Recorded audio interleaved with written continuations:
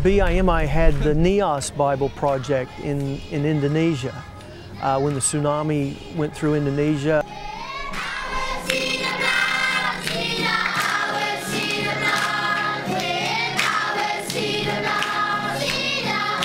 when that project was over, um, BIMI, knowing that I had established a ministry here in the islands, contacted me and asked uh, if I thought I, we could do anything here in the islands. So um, I said, yeah, we, we need to get some Bibles into uh, the country. That's, that's what these village pastors were asking for, were, were Bibles. And uh, so my thinking was that the next generation of Solomon Islanders who now are being educated in these uh, public schools throughout the islands, uh, they would be able to read, uh, where that older generation of Solomon Islanders, even those in the churches, they could not read. So I just saw it as a wonderful opportunity to uh, get the Bible into the hands of, of the next generation. Sometimes people say, oh, you have to go to church to be saved. No, going to church does not get you saved. John 3:16 in this Bible says this, For God so loved the world that he gave his only begotten son that whosoever believeth in him should not perish but have everlasting life.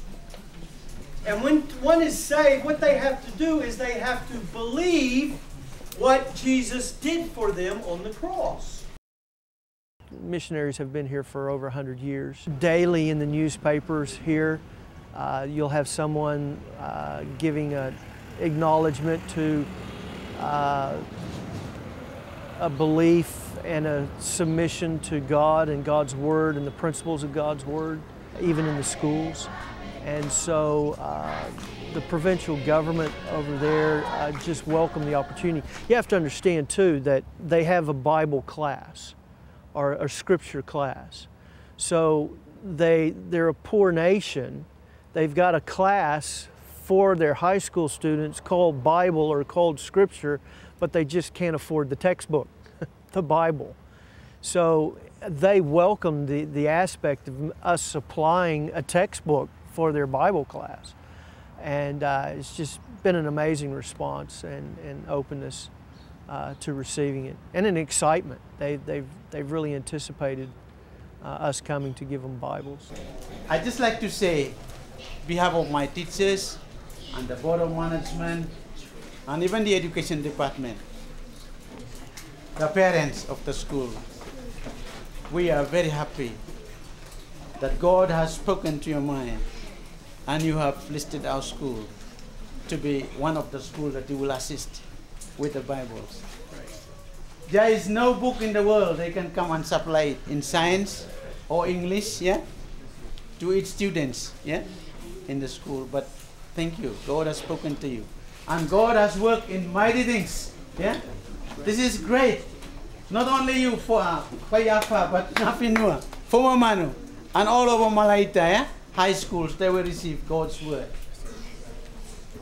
Melanesians very hard to buy a Bible.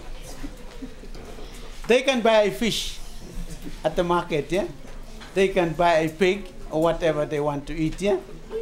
But to buy the Bible, very few can do it. Yeah. Very few can do it. I am speaking out of the religion I come from. I'm in the denomination, Anglican Church. You'll never find someone go and buy a Bible, yeah? One or two can do that, yeah? But not most of them, yeah? Most of them. But to have a gift of Bible is really giving life to someone. Amen. Giving life to someone. A Bible is a book of life. Yeah? Book of life. And now when you give a Bible to somebody, you give him life. So it's up to the students whether you get this mm-hmm. life and you burn it, or you get this life and pack it up in your box, yeah, and never read it for your life. I'm so sorry about that if you do that. Yeah. But thank you, Tim, with the delegation the idea why you give the Bible to us today. Yeah. Thank you. The, thing that stood out to me the most was one of the headmasters of the schools said, when you give us this book, you're giving us life. And because uh, this is a book of life. And the incredible value they place on it was a challenge to me because I've got 10 or 11 sitting on my shelf, and these people have gone their entire lives without having one. Was seeing God's provision. Uh, we talked about all the different plans that Tim had in place, and, and they kept being um, changed. Every time we turned around, there'd be a new plan. And it really just showed how God was providing for us, uh, always giving us a, a, way to get there.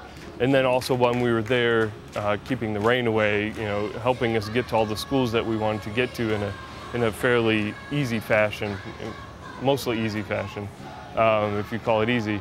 Uh, some of the personal challenges I had were um, or the, the boat ride. I think all of us would have that as a challenge, a 12 hour overnight boat ride, uh, crammed with people and, and stuff, water sloshing in, and most of us got somewhat sick.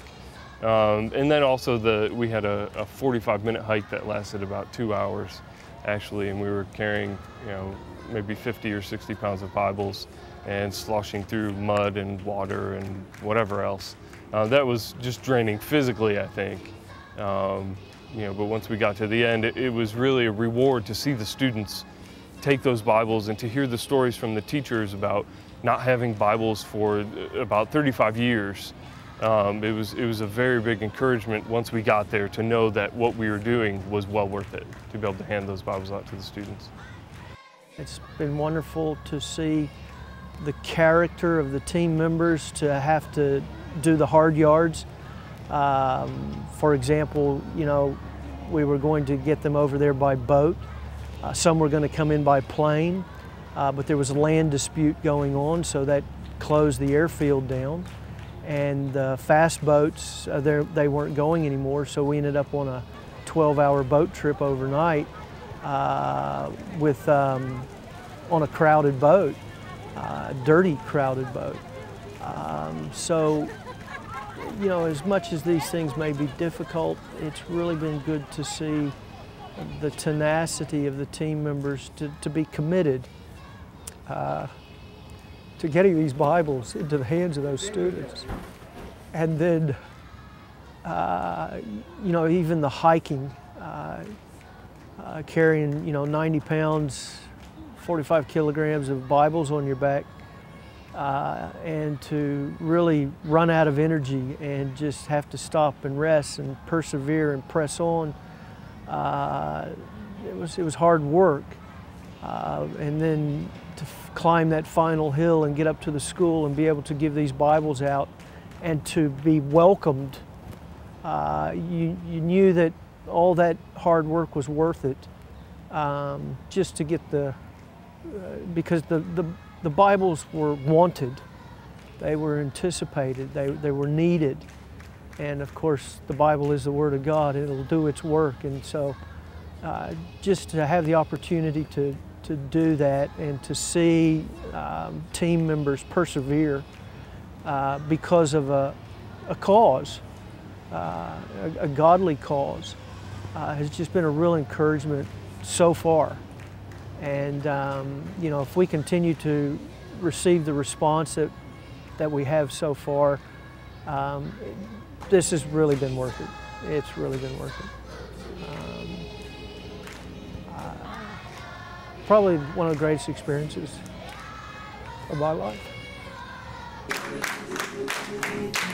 Jesus, Jesus.